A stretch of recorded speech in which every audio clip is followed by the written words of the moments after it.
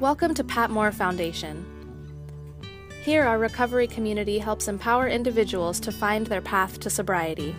Located in beautiful Orange County in Southern California, our unique co ed community features peaceful residential cottages that provide privacy and comfort and enable each resident to truly connect with their sobriety through a variety of programs, including our proven group counseling sessions.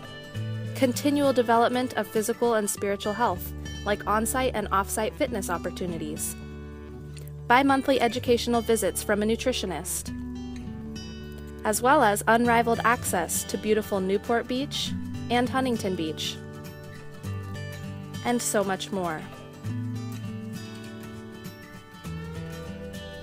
We know that recovery is a path that everyone has to walk themselves, but at Pat Moore Foundation, no one has to walk alone.